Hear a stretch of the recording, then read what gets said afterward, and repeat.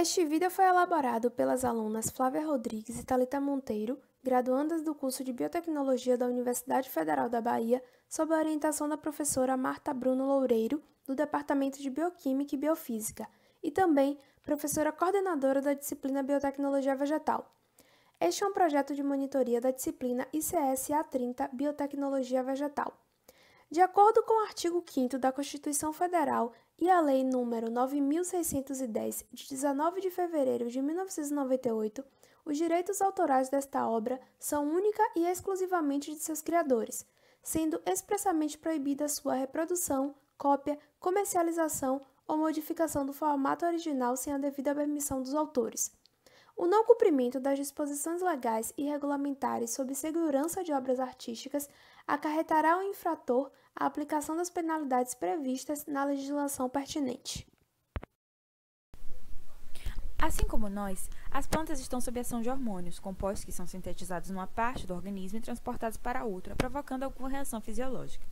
Os hormônios vegetais mais conhecidos são auxinas, citocininas, giberelinas, etileno e ácido abscísico, o ABA. Todos influenciam em reações metabólicas importantes para o ciclo de vida das plantas. Existem ainda outros compostos que também influenciam o desenvolvimento dos vegetais e foram descobertos mais recentemente. São eles os braçinosteroides, jasmonatos, ácido salicílico e sisteminas. Na imagem, podemos observar os principais sítios de síntese de hormônios vegetais. Nas flores são produzidas auxinas e braxinosteroides. Nos meristemas, auxinas, giberelinas e braxinosteroides. Nas folhas jovens, auxinas e giberelinas. Nos caules jovens, giberelinas. Nas sementes imaturas, auxinas, giberelinas, aba, braxinosteroides e jasmonatos. Nos frutos e folhas adultas, aba, etileno e jasmonatos e nas raízes citocininas e ABA. Neste vídeo, vamos falar um pouco das auxinas e do etileno. Você sabe por que os girassóis acompanham o movimento do Sol? Todos os dias acompanham o Sol e à noite percorrem o trajeto em sentido contrário e fazem este movimento até atingirem a maturidade, quando então param e ficam voltados para o leste até o fim da sua vida. A resposta é ritmo circadiano. Todas as plantas e animais têm esse relógio interno que determina o ritmo de seu desenvolvimento e fisiologia. Os girassóis desenvolveram este eficiente sistema que lhes permite aproveitar ao máximo a luz do sol, essencial para a fotossíntese e, consequentemente, para seu desenvolvimento. E quem está diretamente envolvido neste movimento? As auxinas. E o nome dele? Fototropismo positivo. Quem primeiro estudou o fototropismo positivo foi Charles Darwin e seu filho Francis. Estudando plantas de alpiste e aveia, eles fizeram as primeiras observações sistemáticas da curvatura do sistema caulinar em direção à luz. Além disso, também descobriram que se o ápice da planta fosse coberto por uma estrutura opaca, ou seja, que impedia a entrada da luz, o movimento era interrompido. Então, eureka! Tinha algum composto sendo produzido na ponta destes ramos que tinha influência sobre este movimento.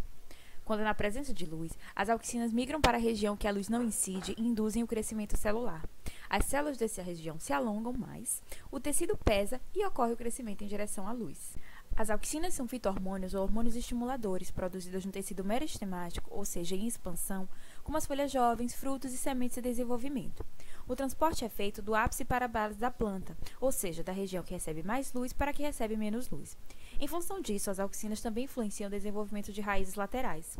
Então, se quisermos que um estaque enraize, nós tratamos sua base com um composto à base de auxinas.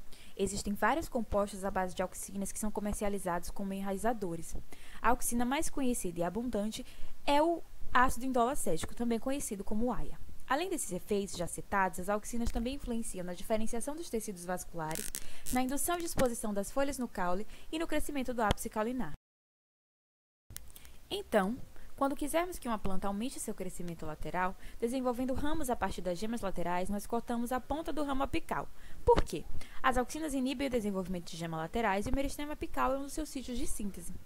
As auxinas também influenciam no desenvolvimento e maturação dos frutos, podendo ser utilizadas na formação de frutos sem sementes. Como assim? Tratam-se os ovários que estão lá nas flores femininas com um composto à base de auxinas, e induz-se assim a formação de frutos sem ser necessária a polinização. Vocês já perceberam que quando as folhas ficam mais velhas, elas ficam amareladas, alaranjadas e caem sozinhas? É devido à ação de um hormônio, o etileno. O etileno é um hormônio gasoso produzido em quase todos os tecidos vegetais e é transportado por difusão a partir do seu local de síntese. Sua síntese é aumentada principalmente nos processos de maturação e senescência. A descoberta desse hormônio ocorreu no século XIX.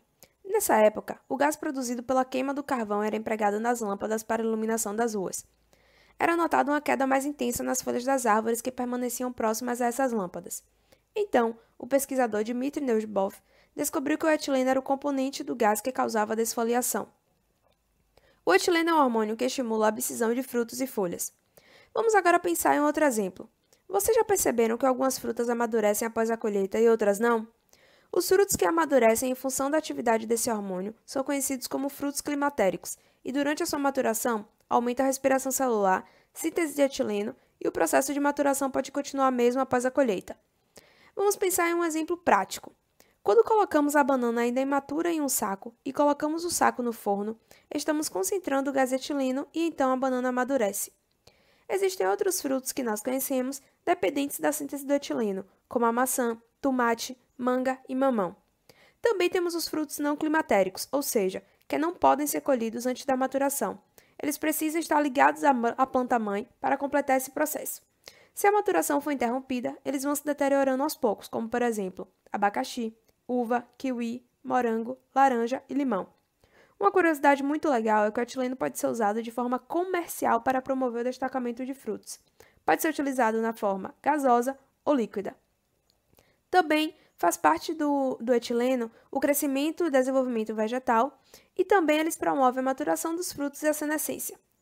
Além dos efeitos já citados, o etileno age na mudança de orientação de de, do crescimento em plantas cultivadas no escuro, ou seja, induz a perda do geotropismo positivo, formação do gancho pulmonar em, em plântulas e em plantas da família Cucubitácea induz a expressão do sexo feminino nas flores.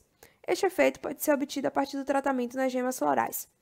Devido a todos os efeitos aqui citados, tanto as auxinas quanto o etileno são bastante utilizados na agricultura. Eles são sintetizados artificialmente e amplamente comercializados. Vocês podem conferir a bibliografia consultada e o contato dos participantes desse vídeo. Obrigada!